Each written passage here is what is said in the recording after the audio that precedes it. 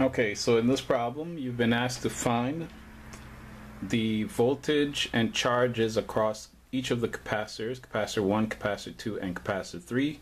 All three of those capacitors are in parallel and they're in parallel with the 5 volt voltage source. All three capacitors again are in parallel and in parallel with the 5 volt voltage source.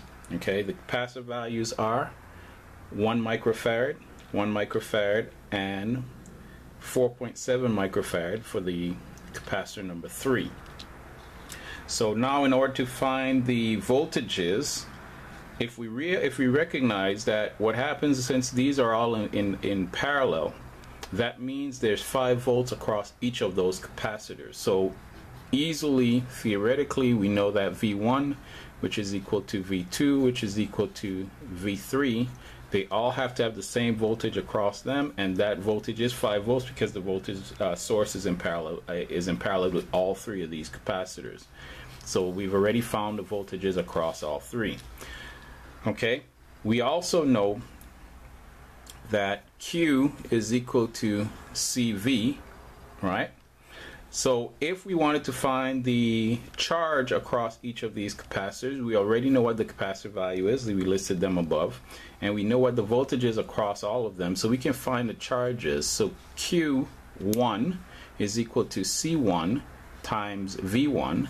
And that is equal to 1 times 10 to the minus 6 because that's what the uh, microfarads, 1 times 10 to the minus 6.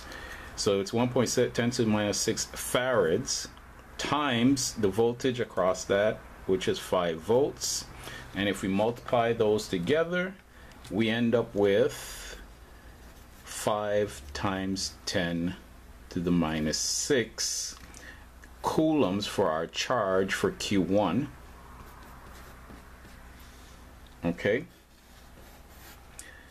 For Q2, we take C2 times V2 and we'll find our charge across that C2 capacitor and that also same thing right?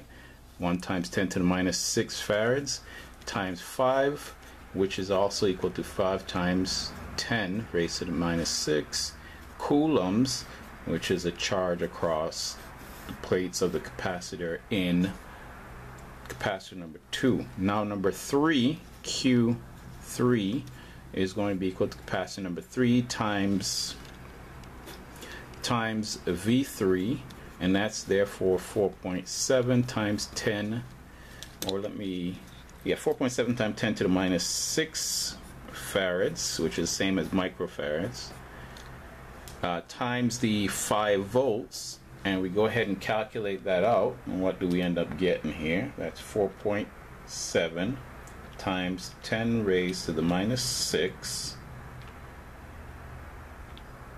times 5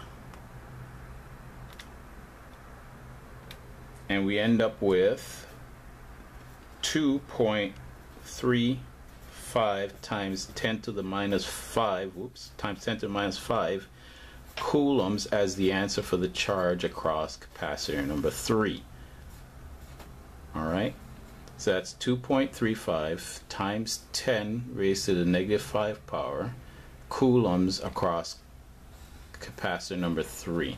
Alright, so those are our three charges across capacitors and the three voltages across those capacitors.